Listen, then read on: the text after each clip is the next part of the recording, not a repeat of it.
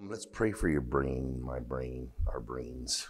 Father, we thank you in Jesus' name for your patience, Lord God. Uh, I know all of us have uh, personal changes that we've seen, things that we would like to see.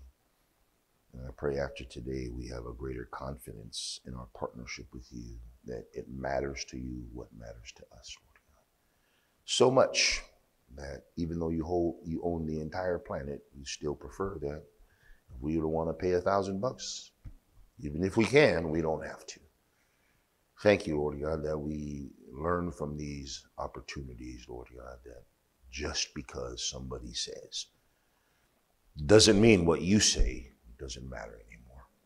It matters more when what we believe is challenged by the world around us, Lord God, to stand on our faith, to believe what you said more than anybody else in Jesus' name. Amen. Thank you to everybody who made it possible. We had an electrician go out there and work um, on our electrical thing yesterday. Uh, give a hand to Cody if you guys would. Praise the Lord. And all the guys that came over to help moving stuff. Al and Errol and Jordan. I've had midnight moves before. I don't want to do them anymore. Amen. Go to the book of Numbers if you would. Praise the Lord.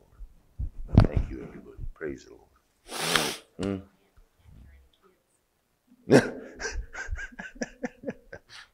and Tom said that yesterday. He goes, Oh, the kids are way over there. and somebody said, Hallelujah. Party animals, man. Numbers, it's um 23. Book of Numbers, Genesis, Exodus, Leviticus, Numbers. Praise the Lord.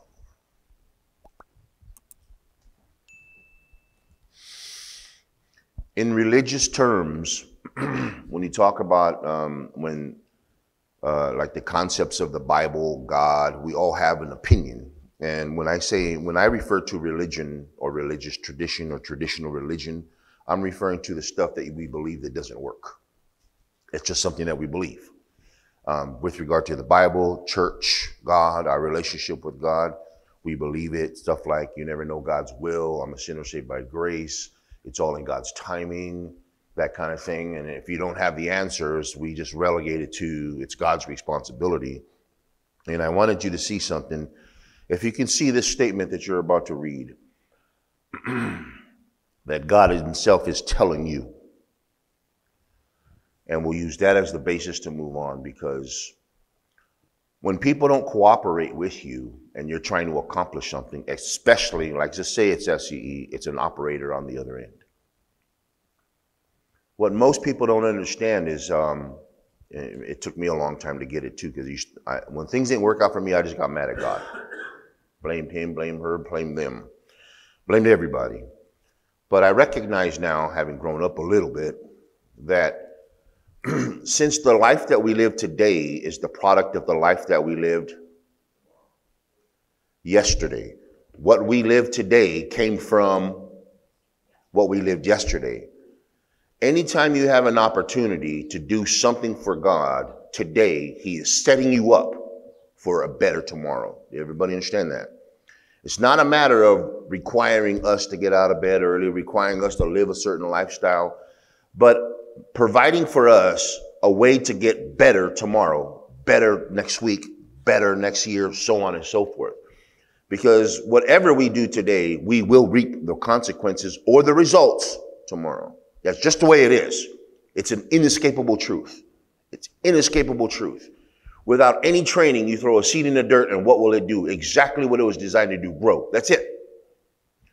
So our words, our actions, our beliefs become the seeds today that we plant for a better tomorrow. So, the way I understand it, um, at least according to the Bible, some plant, some water, but God gives the increase. God is the Lord of the harvest, if, you, if I can put it in those terms. So, when you're trying to accomplish something in your life, and let's say trying to get the electricity on, she calls SCE, and a particular operator calls. Second operator calls, same same issue. Third operator called. What makes the difference between the third one that cooperated and the first and the second one that did not. And if God knows these people are going to answer and say no, why let them answer? Right? Is it possible that this is the ground that that first lady needed help and had no clue that if she favored us, something in her life could have gotten better? God gave her a chance, she blew it. God gave the next lady a chance, she blew it. Then the next guy comes on, yeah. Why does he cooperate if he's looking at the same account, same, same notes? Why? Think about it. So when you and I have an opportunity to do something for Jesus, if I can put it, don't look at it as, an inconvenience. Look at as this is a chance for me. Watch. Do you know what's coming tomorrow? We have certain expectations, but you never know. Next week, we, we had no idea COVID was going to lock down the entire country for a year, two years. When these people had their gyms open and they were doing well, COVID shuts them down and their businesses close. How many restaurants just gave up? Lifelong investment gone. Because the government edict said, you're no more, we're going to shut you down, done.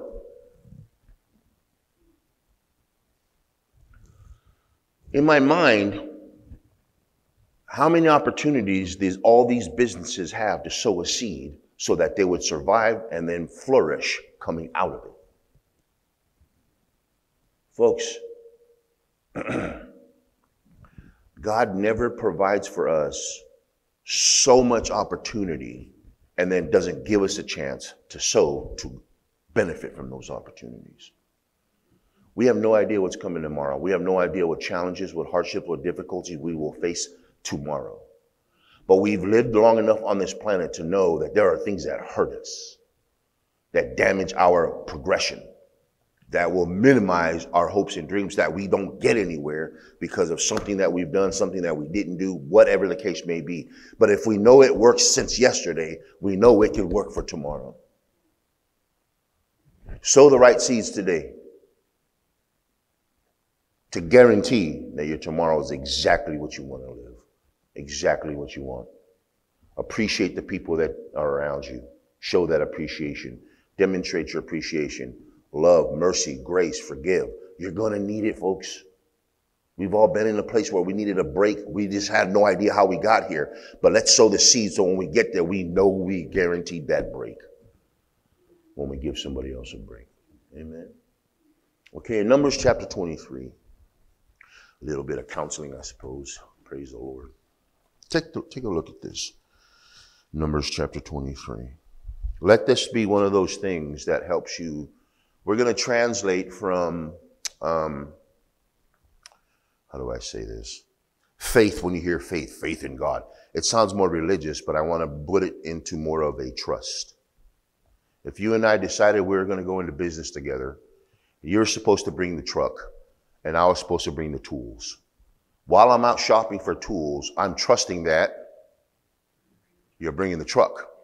While you're out there shopping for the truck, you're trusting that I am bringing the tools. In, ter- in every in religious terms, I have faith in you that you'll perform what you said, and you have faith in me that I'll perform what I said, what I promised to do, what you promised to do. Okay, that's our partnership in terms of God, it comes down to basic human trust. Our ability to trust didn't come from anywhere. God installed it because he's a trusting person. So if he made us in his image and he's an honest person, he'll always do what he said, then we should be the kind of people who just do what we say. Right? If you do what you say, watch, as a seed, what happens tomorrow when you don't get cooperation? There is that person who will do what they said for you. Even if the first operator said no, second operator said no, God knows somebody's on the other end of that line will say yes. Guys follow? So in the meantime, your trust is getting rocked. Because the first lady said nope. Second lady said nope, right? But God, didn't you say so on and so forth? Of course he said. Now, this verse that we're going to read, let it be a statement from God to you, but this is not a question that'll ever rise again. Verse 19. Numbers chapter 23, verse 19. God is not a man that he would lie. Neither is he the Son of Man that right in the middle, when you need him the most, he changed his mind. Hmm? Looking at it from a church perspective, ministry. What did you tell God once that you would do that you changed your mind on him so many times? What did God tell you that he's never changed his mind? See what I mean? At the very least, let's just do what we told him we do. The very least. So God is not a man that he should lie, neither a son of man that he should repent. Has he said? Yeah. Shall he not do it? Of course. Has he spoken it? Shall he not make it good? That's the intention. So go to Isaiah chapter, uh, start at chapter 53, see how it goes.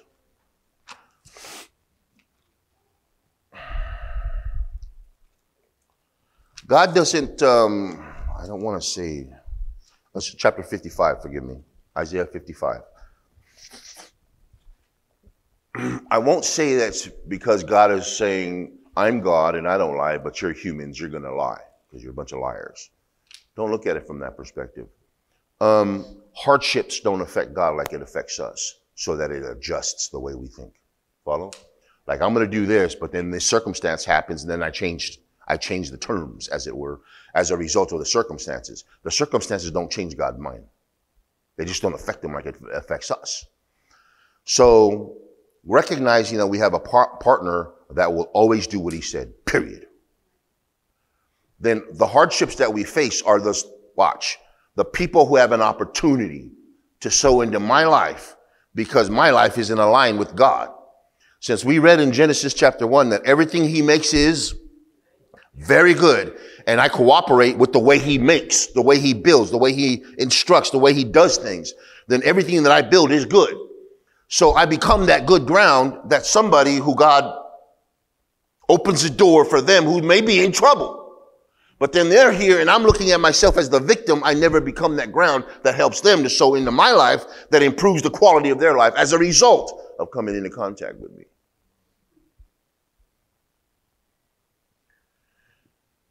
You can't find scripture that says stuff like, we are ambassadors for Christ representing him. Because from a religious perspective, what does that mean to your everyday Christian? I'm supposed to represent Christ. I'm a perfect little saint. You got the wrong perspective. The whole purpose of the blood of Jesus Christ, because you, we are not perfect little saints. We say stuff all day, every day. Just shouldn't have said it, but you say it. Do stuff, think stuff, act, so on and so forth. So the intention to represent Christ is not more religiously doing everything perfect as much as it is when somebody has an opportunity like, we'll use me as an example. If I happen, if I have an opportunity to do good, will I use my measuring stick to do it, or will I just do it because God said? But what if you did something crazy that you feel guilty about? Watch. So my guilt is stronger than what God said? You see what I mean? But we have our own opinions about how things should be done. Well, I just don't feel like I should be because it sounds like, remember, mind, will, and emotions. Worst decision to make is? So if I feel this way, then I make a decision. That's right off the bat, you're the wrong decision. So I, I, we're at Isaiah, right? Take a look at, uh, we'll start at verse 6. Seek ye the Lord while he may be found, and call ye upon him while he is near. So the natural for me, because I'm one of those people, I will naturally ask the question, well, when do I know God is near? According to Jesus Christ, I'll never leave you nor forsake you. Okay? So based on what Jesus said, who is the Son of God, who is who does everything that he saw his father do, who only says what he heard his father say, that means God is always here, period. Everybody got it? He's never absent. We're absent sometimes, but he's not absent. All right. Verse seven. So when is God near? Come on, always. There's no, this. it's, he's always here. Right? They call it omnipresent, everywhere, all the time. Verse seven. Let the wicked forsake his way. Let the unrighteous man his thoughts. Let him return to God, and he will have mercy upon him, and to our God, for he will abundantly. What does pardon mean? Let's say, for example, this guy's in prison. He's got a 25 year bid. He's going to do 20, he's been sentenced to 25 years. Somebody gets voted in that has the power, let's say the government or the governor or the uh, of that state that he's imprisoned in or the president, and they have the legal right to pardon this guy. Does it mean he didn't do the crime? It just it means the crime is irrelevant. You're out. Get it? So when God looks at us to pardon us, it's not because we crossed every T and dotted every I, said everything perfectly, and we're the perfect little saint, but because He, in His wisdom, has decided, I pardon you. Why? Because He needs me to do something rather than not do something. You guys get that? Believing is one thing, doing what you believe, that's completely different. It's way more effective to do what I believe rather than just thinking about it for a while. Verse 8 says, My thoughts are not your thoughts Neither are your ways my ways, says the Lord. Go back to verse 7. Let the wicked forsake his way.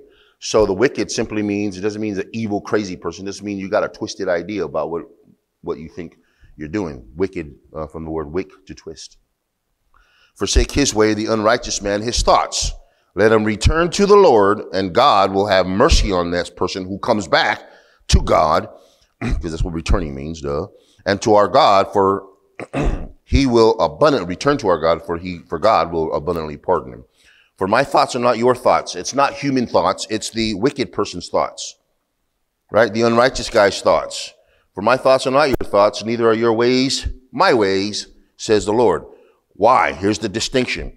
As the rain, uh, the heavens are higher than the earth, so are my ways higher than your ways, and my thoughts higher than your thoughts. Verse 10. For as the rain comes down and the snow from heaven and returns not there until but waters the earth, makes it bring forth in bud, that it may give seed to the sower and bread to the eater, so shall my word be that goes forth out of my mouth, what I said. It will not return to me void, but it will accomplish that which I please, and it will prosper in the thing whereto I sent it. I don't, I don't know if it'll how do I say? You ever heard the term willpower? And it goes for a while. It's like, ah, then you give up. There's um, God's will is exactly opposite of what we assume or think. If I start a diet, then I go by and I get a nose hit of a restaurant or something, right? I shouldn't eat it, but I forget it. What the heck? Especially if we're in a drive-through and everybody's ordering. Yeah, what the heck? You just blow it, right? Your willpower just breaks, right? His doesn't. what do we do as far as the humans are concerned? Forgive me for the mechanics, but it's just the way it's going. Um, from a mechanical perspective, your mind, your will, your emotions, how does your will determine what to do? First thing that happens is you think. What are you thinking? Those ideas. You, you get the ideas, right? in your mind. Now, your mind calculates the information, knowledge, the understanding, and then your mind passes it to the will department. The will is what the choice, and then the emotions are supposed to follow. You laugh at the joke after, not before, right? So you get happy because it was a right decision, but the decision was made on based on what you thought. And but what you're thinking is what is the information that you're getting. Get it? So it's why it's vital. Be careful what you hear because it may infect your faith, your trust in God. Well, if that was the case, then how come this happened? Then how come this happened? You're not asking for a lot of people when they ask that question, they're not asking um, to get an answer. They're asking to challenge God's will. All right. So I want you to see something um, in the scripture and compare it to where you are in life every day. Okay. Before we go there, consider this what these verses are saying. Starting off at man is not a, God is not a man that he should lie, nor that a son of man that would repent. And what he means about repent is go the other way from the decision that he already made. In other words, change his mind. So from our perspective, what changes our mind? Well, okay, let's say we've already graduated out of the emotional decisions. Circumstances. Our number one issue will always be circumstances. Circumstances do include information. I believe something, something else happens. Now I'm challenged whether I believe it or not. Because remember, your ability to believe is forced. It is, it is plugged into your will. If you've chosen, if you made that decision and some, something else challenges that decision, will your will break? Will it break that easy? You follow? If that's what you decided, what's making you waver so much? Well, you're strong one day, then you give up the next day, and then you're strong another day, and you're like up and down, in and out, so on and so forth. Why is it that you're having, you're struggling so much, pressing forward no matter what, no matter who, no matter how? And in the case of somebody not cooperating with God's will, giving them a chance to sow into your life, to give them a break. You have no idea if the operator on the other end, on the other end is on the verge of a divorce. Has no, you have no idea somebody is about to die and God gave, sent them you for them to do you good, to get their seed into the good ground that will produce God's will in their life, which is good. Somebody gets healed. Somebody gets a life change. Somebody moves forward in life. Representing Jesus Christ is not being the best Christian, period. To keep it simple, just the best person you can be based on what you already know. That's it. We have good days, we have bad days as humans. But one person that never changes is God. As long as your partnership with God is good to go, his, I, this is how I believe it. His goodness will leak over you so much that you just feel, you know what, I should just stop doing that. Nobody's sticking a finger in your face. It's just you trust that he knows what he's talking about because everything he touches works. So if I work it the way he works, I get the Midas touch too. You guys follow? From a religious perspective, you better stop sinning or else. Or else what? God's going to get you? Don't you think God should have got a lot of people already? I can't be the worst guy in the world. Make the best, but I can't be the worst. How come somebody didn't got that guy? Or that girl or those people that are doing crazy, right? All right, so in this scripture, we find God doing what? He sends out his word different from a twisted idea from an unrighteous idea. So let's say you have the unrighteous mind, the wicked man forsake his thoughts, unrighteous man give up the way he's thinking and come to me because I'm my thoughts are not like that. My thoughts are, my ideas are, my words are when I say it, that's what I mean, period. Okay? So, what affects the human being's will? I decide this circumstances. Do they affect God the way they affect the human? That's why the distinction in numbers. I'm not a man that I'm affected like you guys and then I change my mind because now it's hard. I mean, if we haven't learned how to fight through hardships by now, holy smokes, I feel bad for you. Well, just keep coming in, we'll fix you up. Praise the Lord, amen. Right? All right, go to um, very familiar passage, Let's just keep reading um, Isaiah 55 and then we'll change it, all right? In, in, this is Isaiah 55, verse 10. For as the rain comes down and, turn, and the snow from heaven, and doesn't return there, but waters the earth first, makes the earth bring forth and bud. What does earth translate to for us at CC Live? My physical life brings forth, makes it bring forth and bud, produce, that it gives seed to the sower and bread, all from his word. So it gives the start and the end. It gives the beginning and it finishes what it started, if I can put it in those terms. All right? verse 12. Oh, forgive me, verse 11. So shall my word be that goes forth out of my mouth, won't return unto me void without a profit, without increase, without change, without results. But it will accomplish what I please, my will, and it will prosper for the purpose I sent it. For you shall go out with joy and be led forth with peace. The mountains and the hills will break forth before you into singing, and all the trees of the field will clap their hands. Instead of the thorn will come up the fir tree. Instead of the brier shall come up the myrtle tree, and it shall be to the Lord for a name, for an everlasting sign that shall not be cut off. Results, good, great, awesome results, has to be the evidence that God is working in your life. Because what he compares here is um, instead of the stuff that doesn't help, new stuff comes up that does help. That's what's provided as a result of my word not coming back to me without its product. So whatever it is in, in life, because that's how I take this, the, the entire, go to Deuteronomy chapter 28.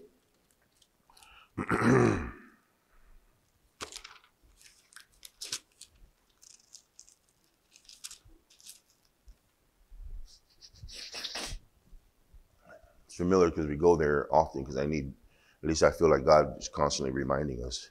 The smell of new carpet is kind of neat, huh? I'm surprised how soft it is, actually. I thought it'd be harder, but it's all good. Praise the Lord.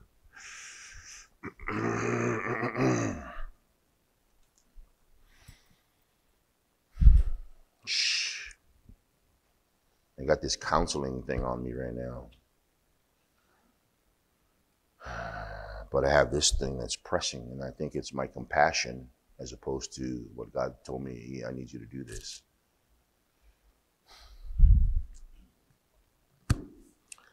I feel for you, my brothers and my sisters, because um,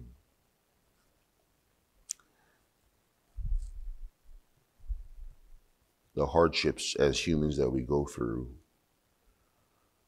more often than not, are 100% we know it's our decisions. Um, I've been to that place where condemnation keeps me from doing what I'm supposed to do because my opinion of the dirt is different from God's. I mess up. We've read it a thousand times that when we ask for forgiveness, God is faithful and just to forgive us and to, because a man of action is what he needs, not a man of just thinking about how bad it feels. Right? You and I can do a whole lot better with people who cooperate with the mission than people who are still thinking about it and it's not a it's not a negative against the human condition. It's just to point it out that you'll be a lot happier to do what you told God you would do than you wouldn't. Put it that way. This is Deuteronomy chapter 28. It'll come to pass if you shall hearken diligently unto the voice of the Lord your God. You don't have to worry about the diligence, the diligently in this, the diligence in this ministry, because the diligence is some of the detail that we get into. and I explain it to such a degree that pretty much anybody can get it. If you hearken diligently unto the voice of the Lord your God to observe to do everything that he commands, which I command you to this day. What's that mean, this day? Up to, the, uh, up to this point, what do you know? Right? So Genesis, Exodus, Leviticus, Numbers, and Deuteronomy, that's where we're at. Which I command you this day that the Lord your God will set you on high above all the nations, we'll call it nationalities, not because God is some kind of racist individual but let's just consider us instead of um, just humans, we'll call people who believe God. How's that? All the blessings, all these blessings, verse 2, will come on you and they'll overtake you. What's overtake you mean?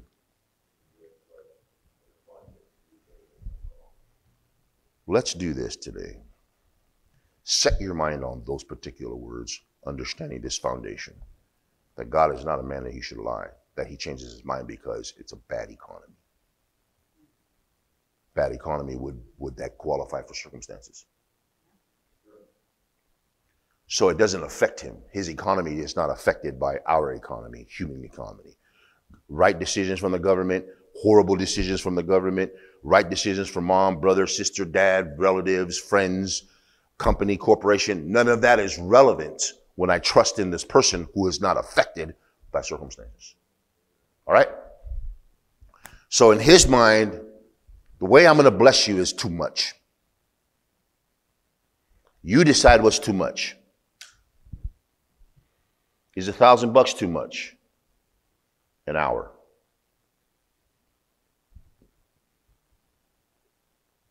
For some people, uh, yeah, but I'll take it.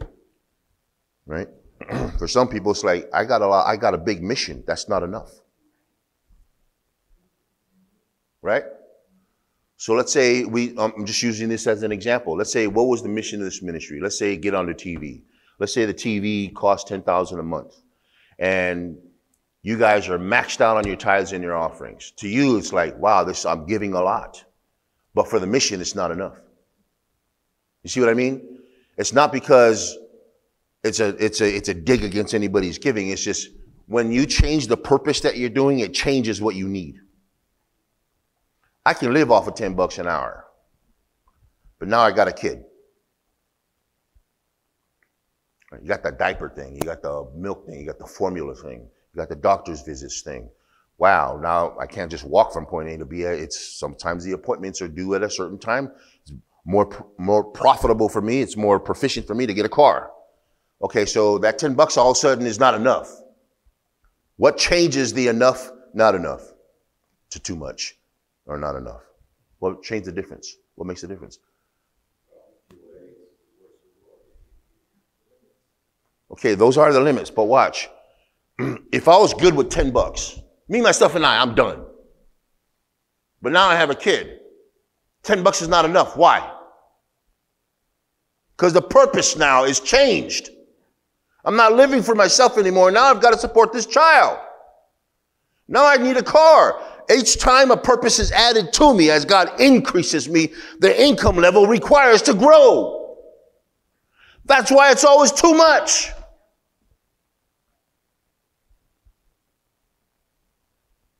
He's thinking, Thomas, you're going to need this. And I'm thinking, I don't need that. Trust me, son, you're going to need this. Follow? Poverty or lack insufficiency mindedness is exactly, exactly anti-Christ that way. Because God wants to increase us, not just so we can go, yay! I have a $350 shirt. I don't have a $350 shirt. In my mind, I, that doesn't make sense to me power tool for 350 yeah that makes sense to me right? But my need does not have a need for that kind of a shirt. I just don't at the moment. So as you and i expand income requires to you guys follow? So as god is blessing me exceedingly abundantly above all i could ask or think he's blessing me for the future today. How the seed that I sow today is different, right? So that it sets me up for tomorrow. I remember as my business way back when, when my wife and I we were a, a general contractor, and um, TM, my initials TMT Productions. Um, I remember as the tithe, as the business started growing and the tithe started growing, I remember thinking, this is kind of crazy. I could not imagine writing a check or um, giving cash, whatever the tithe was, in, in the thousands. It didn't make any sense to me, or whatever the pastor said, and then boom, boom, boom. But it started dawning on me. So wait a minute, is the business growing because of this? I'm like, duh, right? Finally get the hang of it. And then every now and then I'd run into uh, a minister who actually preached heavily on seed, seed time and harvest, seed time and harvest. And it convinced me. And I started guaranteeing my today's today, yesterday, and today I'm guaranteeing my tomorrow by my today. Watch. If you give today what you can afford, what are you sowing seeds for? How do we stay just till we can afford year after year after year after year after year? Exactly like that. Because we can afford, watch, based on our circumstances, not based on what we want in the future. Amen. Folks, that little milk and formula that you feed a little child, in technical terms, are the seeds that help them. It's the weirdest thing. You just feed and water them and they just, right? Notice how formula turns into something else. Right? All of a sudden they got teeth. They need a hamburger now. For you know it, now they need a steak. How come as we grow, the needs require different supply? Those little tiny $2 shoes are not going to work anymore. Yeah, after a while, they need Nikes. they need brand name stuff, right? It's, folks, the same thing for our cars, same thing for our clothes, same thing for everything. As we grow and develop, there's a supply that God had already invented that provides for us already. But you have to be encouraged enough to move when He encourages you to move. God is not trying to get something from you. He's trying to get something to you. So Deuteronomy chapter 28. All these blessings come upon you and overtake you. How do we guarantee they overtake us? By doing, doing today, knowing that tomorrow will overtake us beyond what we can afford. Right? I'm not saying, no, I'm, folks, this is not a money, getting your money. You can keep it, that's not a big deal. But I need you to get the concept. You can't complain tomorrow that you can't afford when you today could not make the change for tomorrow. Follow? You guys ever heard of investment? How come a guy will take a piece out of his, let's say it's, it's a company uh, sponsored investment. We will match your 401k, right? It's an investment thing that the company says you put in a thousand, we'll put in a thousand. You put in a hundred, we'll put in a hundred, that kind of thing. What's the point of the, why do you do without that money in your check today? Because you know you want a better tomorrow. You don't want to keep doing this when you're 70 years old right? You want something just you have you want something that you built up over the time so that now you don't work at all and you still get your bills paid. You can still take your vacations. You're still driving the river in your boat. Ocean in my case, but yeah, you know. Whatever it is that you enjoy, you're setting up for it tomorrow by setting up for it today, right? By working working on it today. All these blessings will come and overtake you if you shall hearken unto the voice of the Lord your God. You shall be blessed in the city, blessed in the field. Blessed shall be the fruit of your body and the fruit of your. Does a blessed shall you be the fruit of your body include children that are completely 100% health? Because that's a tough one for Christians who read that and they have challenged kids. It's rough. It's rough when we see stuff like giving, it should be given to you, good measure, pressed down, shaking, all this abundance, and people still experience lack. But if God made me like him and he's not flexed by the circumstances, we cannot flex regardless of the circumstances. You guys follow? Because I've already chosen to believe God no matter what. So no matter what comes, I still believe God. That's my will extending to the point where it forces beyond the darkness, forces beyond the challenges, forces beyond the hardships and the difficulties. Would you agree that you have experienced some bad times in your life? Would you agree that you've come out of them? So what for the next time? You'll come out of that just like you came out of everything else. Watch. How'd you come out? Here's a simple thing. You just kept going. Think about it. You didn't off yourself. I know this broke my heart, but whew. go to bed, get up, go to go to work, go to bed, get up, go to work. Four weeks later, forget about it. A month later, forget about it. It's another challenge now. And then you go through it the same thing and you just keep going. And because you have decided to keep going, that force of your will gets you past. So, how do you guarantee to, to lose? That's it. The number one way that a human being loses is when they quit, period. That's it. There's no other way. Blessed shall be the fruit of your body, the fruit of your ground, the fruit of your cattle, the increase of your kind, and the flocks of your sheep. This is talking about stuff. Blessed shall be your basket and your store. Blessed shall be you. You shall be blessed when you come in. Blessed shall you be when you go out. The Lord will cause your enemies that rise against you to be smitten before your face. Does that say, is it saying to you that you win every battle? Look, the Lord will cause your enemies that rise up against you. This is, would that include any enemy? Should be smitten before your face. They will come out against you one way, flee before you in seven ways. Is that saying that you are guaranteed to win every battle? You see the sort of courage that you have to pull up just to say that? It's weird. And yet he doesn't think the way we think, where, of course I win. I'm God. Let's make man in our image so that of course, he wins. He's made like us. The Lord will command a blessing on you in your storehouses, all that you set your hand to. Everything that my hand sets to. What's that mean? Everything I do works. I don't know about that. Well, he's not a man that he should lie. Oh, maybe I'm looking at, well, I did this and it didn't work. I did this. Was that yesterday? Yeah. Well, today is a brand new day.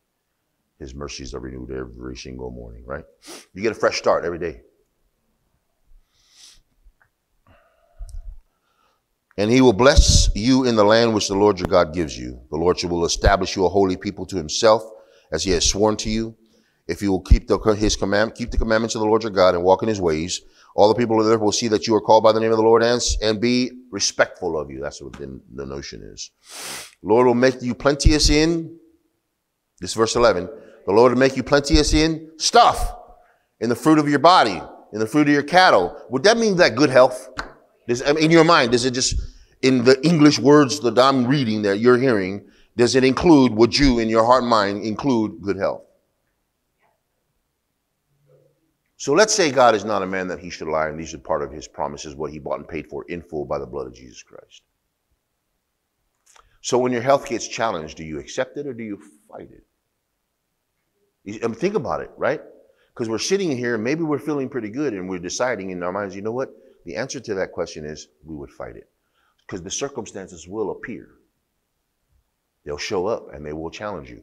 And then what you say today, I will fight it, has to be just as strong that day when you get challenged.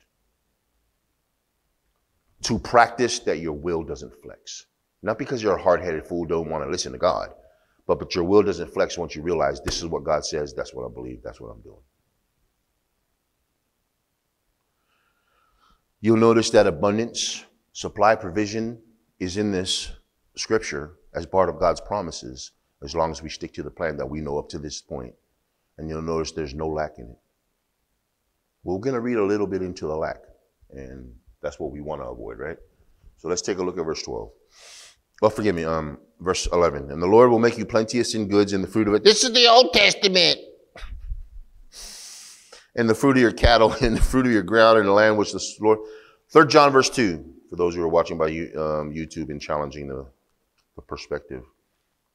I was watching this uh, um, once in a while. I'll just see what Christians are doing in the world, and I'll jump on the YouTube and see what's up. This is Third John verse two, and what I find a lot of in terms of Christianity on there, a lot of people in their YouTube channels, they find ministers and they criticize what they're saying and they take the Bible and they try to get technical. They get really um, anal. They just anal, anal, analytic and say, "Well, the word actually means this. they should have said this, that, and the other." It's like they have no idea they're the Pharisees of today. Yeah, right. They're hiding in the little basement, and then they have all these degrees. Nobody knows who they are, and they're just typing up all their opinions and telling everybody this, they should have said this, they shouldn't have said that. The Bible actually says this, and just constantly criticizing and have the nerve to talk about the love of God. Watch, I'm going to tell you what Jesus said. He said, You want to know how the world will know you, guys, Christians, that are different from everybody else? He said, This is how they'll know that you're following me. You love each other. Criticizing somebody all the time is not loving them, right? So it's it's kind of a trip how everybody sort of just makes up stuff as they go. Anyways, forgive me, that was a total side thing. In verse 12, Lord will open up to you his good treasure, the heaven to give rain upon your land in the season, to bless all the work in his season, to work all the bless all the work in, of your hand, and you will lend to many nations and you shall not borrow. You shall means in the future, you get to the point where you have enough to help somebody else. And the Lord will make you the head, not the tail. What's that mean? And he he he makes it a point. He says, You shall be above only on top, you shall not be beneath. And it says it shall, which means yours, this is a goal that we're trying to reach, the top. I show up in the company, I'm at the bottom. The goal is to be at the top. If that's the department, I'm going to be the best in that department. You guys are to come for me to me for answers. Not because I'm thinking I'm all that. If I stick to the plan, I become the best wherever I'm at. If I stick to God's plan, I become the best. Not just the run of the mill, I become the best of whatever I'm at, wherever I'm at. Watch this little key in here, verse 12. The Lord will open you his good treasure, the heaven, to give rain to your land in his season, to bless all the, what's the next four letter word? Work. Work of your hand, which means we got to do something. Amen. Lord make you the head, not the tail, above only, not beneath. If that you hearken unto the commandments of the Lord your God, which I command you this day to observe and to do them. And you shall not go aside from any of the words which I command you today, to the right hand, to the left, to go after other gods to serve them. But it will come to pass, if you will hearken, not hearken, oh, here's the other side, to the voice of the Lord your God, to observe to do all his commandments and his statutes, which I command you today, that all these curses will come upon you. God is not commanding the curses. This is just the result of these particular seeds, these particular actions, right? Let's say you are a Christian and you feel like God bless you all over the place, but then you just walked up to a total stranger hit him in the face. What if that stranger hit you back? God, why'd you let this happen? That'd be a dumb question, right? You shouldn't have done it. So there are circumstances that occur as a direct result of your intervention, if I can put it in those terms. So a lot of people say, oh, God cursed you by making that guy hit you. No, you just got hit in the face because you, you hit him first. Get it? So not everything God is actively working on against you or working on your life. Not because he is, but he's always working for us. But this right here is a warning. Curse shall be you in the city.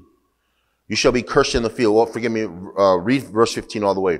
It'll come to pass if you will hearken to the voice of the Lord your God to observe to do all his commandments and his statutes which I command you today, that all these curses will come upon you. Just like the blessings, they'll overtake you. This is when nothing in my life is working. For a lot of folks, they're like, I don't know what's going on. It must be the devil. If nothing in your life is working and God is for you, it's not supposed to be like that. Curse shall be in the city. Dang it. In the field. Oh, in the basket. Basket, what you use to, to carry to, to build. Like if you went out into the field, build, filled up the ba- filled up the basket with grapes, if you will. And in your store, this is where you bring them to, store them. Curse shall be the fruit of your body, the fruit of your land, the increase of your kind, flocks of your sheep. Curse shall be when you come in, curse shall you be when you go out. Just think of opposite of everything that we just read in the first 14 verses. It gets worse. It's, it's depressing when you read it because it goes for a long time. It talks about stuff like divorce. You shall, you'll betroth the wife, and another man will lay with her. Getting cheated on. It talks about sicknesses that should be healed, but just, just don't go away. It talks about growing old and not being able to pay for your own life. Constant dependent on somebody else. Stuff that matters right now in 2022. So if you're looking in your life and you got a whole lot of curse and not very much blessing, you can't just blame it on the economy anymore. If you believe that God's word is coming from somebody who doesn't change his mind and that the circumstances. In other words, stop making excuses for a life where you're just existing and start sowing seed that actually matters, right? When if the seed I'm sowing is the same old seed that I've ever sown? Then I'll get the same old results I've ever gotten. Follow? Folks, more power has been lent to your control to force your will onto your life than you realize. Saying something like that in Christendom is very controversial because people don't know God as much as a partner, as a um, relationship than they do as a religion. They don't real, a lot of folks don't realize when God said, let us make man in our image, and we recognize God as almighty, all powerful. We recognize him as in control of his life, if you will, of the life around him. And then when he says, let's make uh, man just like us, and then goes on a long list of giving us dominion and power and control, you have to realize God gave so much power, so much control, so much free will that he expects you to maximize the production of your life so you don't struggle through it. Why? Because if you're made in God's image, do you imagine Him struggling? If you have a hard time wondering what's up, just simplify it like this. Make it super, super, super simple. Is God struggling? No. Then why am I struggling? Is God stressing? No. Then why am I stressing? So you go back to what He recommends. Do what I tell you. You're going to win. Just do what I, I'm instructing you to do this, Thomas. Just do it so that you win. You win, you win, you win. Let's see if we can find it in Deuteronomy. I was at Deuteronomy, I changed it. Let's try 31 or 30. Let's see if somewhere. It was cool. My old Bible had all the notes and stuff. Hmm.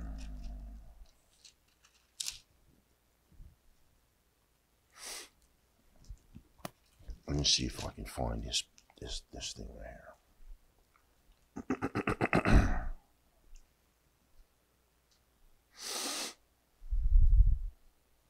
We're going to go 29, Deuteronomy chapter 29 and Deuteronomy chapter 30, and we're going to compare them and it will be done, okay? You have so much control in your life. It's and, and you have to understand it pleases God when you exercise your power, when you exercise your force. It's like watching your son. I mean, if you can if you can relate to the concept, maybe your brother, a relative, a dad, or something, and he's on the football field playing, and he is just killing it Maybe she's in the volleyball team. Uh, it's a girl, and she's just killing it. It doesn't make you go, "Oh man, I wish they wouldn't do so good." I feel so ashamed. You'd be like, "Yeah, that's my dad. That's my brother. That's my kid, man, killing it." Right? They don't award MVP to the one who does worst. That'd be the MIP, to be most invaluable player. I don't want that award.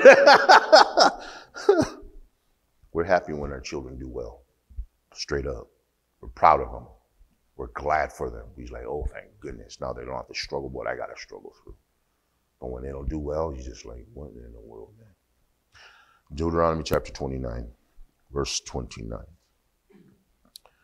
The secret thing belongs to the Lord our God, but those things which are revealed belong to us every time you and I are exposed to a new truth, a new revelation, a deeper level of the same truths, we become responsible to manage those truths. Watch, to us and to our children forever, so that we may do all the words of this law. All right? I'm going to translate do all this words, this law.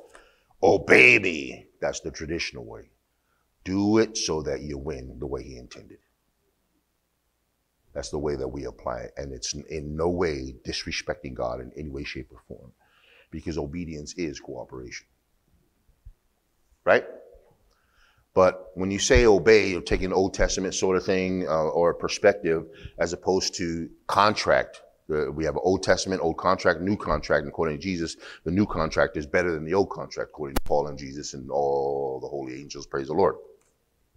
Haven't met them all, but I heard so if the New Testament or covenant is better than the old contract, then our the reason why our new, old our new contract is better is that we don't perform the way we had to in the Old Testament. Where you screw up one thing, there was no mercy. You had to go find a perfect lamb, a perfect goat, and and and put all your sins on it, and then send it to the priest. Right? And then every year you're supposed to make this trek from wherever you are to the temple city and then do all your sacrifices so on. We don't have to do that. We can fall on our knees right now and say, Lord, forgive me. And boom, done. Let's move you on, man. We got that out of the way. Let's get you, let's, let's get you to move forward, right? The Old Testament or the old perception is like, why well, I still feel guilty. We're not going by your feelings, brother. We're going by what God said. You're going to believe your feeling. You're going to believe God. That's a hard one. It's hard because you said it's hard. You're thinking it's hard. And what's the world call you? Hypocrite, I seen you do that, so on and so forth. Yeah, apparently you don't get the way God does it. That's why you talk the way you talk. Anyway, so once you are, re- once the truth is revealed to you, you become responsible to that truth. You've heard a lot this morning. Now go to Deuteronomy chapter 30, verse 19. This is a court sort of setting, and it's a you have to take it as a legal decree that anything that is in dominion in heaven, anything that's in dominion on earth, the governments, if you will, have collected into this run one room to deal with you, to handle the issue that you need handling, if you will, to deal with the human being, the human condition. I call to heaven and earth to record against you this day that I have set before you life and death. God has said, this is life, Thomas. This is death. Therefore, I'm telling you, what's the choice that God recommends? Choose life that both you and your seed may live. That you may love the Lord your God, that you may obey his voice. Obedience is also cooperation. And that you may cleave to him, for he is your life and the length of your days that he that you may dwell in the land which the Lord sware to your fathers, to Abraham, to Isaac, and Jacob. In other words, by contract, to give them. I promise a lot of things through people who believe through contract. So as long as you act like somebody who believes in the contract, the contract has to become more important than your feelings. You guys follow? This is not because your feelings are not important. But if my feelings lead my decision to follow or not to follow, you're making the wrong decision right off the bat. It's so so obvious, right? Get mad at somebody, then all of a sudden they're not your friend anymore. You start making decisions, whether it's financial decisions, relationship decisions. We've all been there, folks. Got mad about something and we run our mouth off and we just ruin something, and it takes a while to come down from that. It takes a while to come down from that. And I'm going to give you a little bit of uh, personal advice, but it's built on the scripture. This week, wow, there's so much. There's, all right, we'll start here. We'll start here. This will be a simple one step that you can do. All right. As you're sent out, when you go out and do whatever it is that you're doing in life, doing your thing, and you run into somebody in trouble, Consider this you're the answer to their problem. Okay, watch. You can't think that if you're measuring all of your problems. As a Christian, you're sitting in this room, all your problems been handled by Jesus Christ. So it's not no longer a problem unless you, in your mind, keep it as a problem. So let's say you stop keeping it as a problem is the same as you getting out of the way and then allow God to work through you to save somebody from their trouble. I guarantee you, you allowing Him to work through you to bless them, you cannot avoid being blessed because the blessing has to go through you. When if they hurt my feelings, your feelings are no longer relevant. You're on a mission.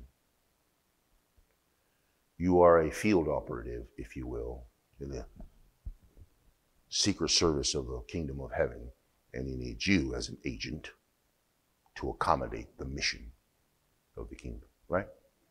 So when you show up, sometimes you're feeling you have to put aside to save that life, even if that life is being saved for a moment. What's also happening when I come to that moment in my life in the future where it seems like I'm in a corner, I got nowhere to go. God will remember that seed you sowed so that when you need an out, somebody will come and get you out. Watch, even if you hurt their feelings already. Because you were willing to put aside yours, somebody be willing to put aside theirs for your sake. It's not magic, but you can kind of see how you can accommodate, if you will, or control your future by the things you sow today. Amen. Bow your heads, you guys. Father, we thank you so very much, Lord. We've been talking about expansion, and here we are in our new building this Sunday morning, Lord. It's just, uh, wow, thank you. And it wasn't even, there was no challenge to it, Lord God. Challenges came up, but we just didn't feel them like, like it was way back when. And Lord, I give you the praise, I give you the honor, but I also have to give recognition to these, your precious people, Lord God. Because we know collectively it's everybody doing their part. Even if they're not moving a chair, they come in, they hear, and they apply the truths. It's lending to the mission of CC Live, Lord God. We thank you for your love and your kindness, Lord. Thank you for taking the time, always willing and so eager to show, to reveal to put on us, Lord God, what is on you so easily, so quickly. Help us to make the distinction between our feelings and what you said and the willpower to set aside what we feel so we can cooperate with what you plan on doing, Lord. And when we see those people who need our help, even if they're mad and acting crazy, Lord God, we recognize we're the answer. We're not the victims of any circumstance that these folks have an opportunity to sow and that you're giving them that opportunity by sending us into their path so that they can get a break because we know we're going to need one in the future. And we thank you for always taking care of us, coming going now, then, and forever. In Jesus' name, amen. Give God a hand, stand to your feet if you would. Praise the Lord.